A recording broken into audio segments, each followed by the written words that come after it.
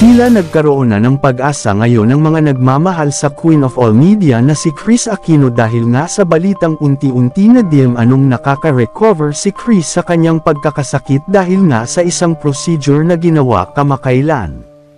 Sa ngayon daw ay bumubuti na di umano ang kalagayan ni Chris dahil nanunumbalik na di umano ang kanyang sigla at ngiti na tila ba ikinagulat ng iilang mga tao sa ospital na nagbabantay sa ngayon sa Queen of All Media. Tila narinig na nga ang dasal ng lahat na gumaling na si Chris sa kanyang sakit.